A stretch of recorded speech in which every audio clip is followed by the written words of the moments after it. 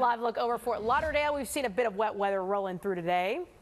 Looks nice out there. Actually, isn't that, that's uh, downtown. That's downtown Miami, isn't it? Yeah, there you go. You see the AAA there? Oh, yeah, right. it is. Just had to do a double take there, but it is a beautiful shot nonetheless. Let's go ahead and check in with uh, Angie again and see how it's looking out there. Hey, Angie. Hey there, ladies. It's been a little gloomy today. I think people have noticed that. We've had the showers and thunderstorms trying to roll through. Most of it to the west, but a couple of areas have been dealing with some wet weather. So let's zoom in and show you exactly who is seeing some of that thunderstorm activity right now. Tamarac down towards Sunrise and up towards Coral Springs. Some of those lighter showers, even some lightning nearby. Uh, that continues to move north, but there's more where that came from. Notice 595 is going to be wet in that area. A few showers near Southwest Ranches and Davie and along US 27 in this area. You can see some moderate rain falling at this time. Drier conditions for Miami-Dade, but just to the west, we have these thunderstorms that again are trying to push in. So scattered showers and thunderstorms lasting through the rest of your afternoon and into your early evening hours. We will keep that rain chance going as we head into your Wednesday. And you can see it play out on your future tracker right now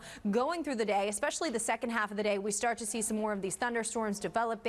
There's a pause at 5 o'clock. This is why you'll want to take that umbrella with you for tomorrow.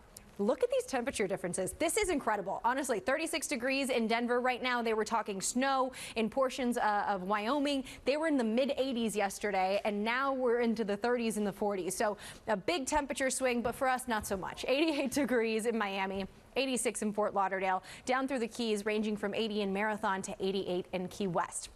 Tropics, it's busy. Yes, of course. We know it's that time of year. Tropical storm Paulette still remaining a tropical storm with winds at 65 miles per hour and moving slowly. Eventually going to take a northwesterly turn, so we won't have to watch for that for any land masses to be affected, but we are still going to monitor it. That goes for tropical storm Rene as well. 40 mile per hour winds and a westward movement at 16 miles per hour. This one will likely become our, uh, our next hurricane, category one, but you can see that doesn't last long. By Friday, it's back down to a tropical storm, and it does take a northerly turn, so that is good news there. A couple other spots that we're watching just off the coast, uh, the eastern coast, 40% chance of that developing tropical depression there, another tropical depression for that area as it emerges off the coast of Africa. So lots to talk about when we're talking tropics. Locally, scattered showers take us through Thursday, brighter skies by Friday, but guess what? Rain chances back to widely scattered and scattered for our weekend with temperatures into the upper 80s to low 90s.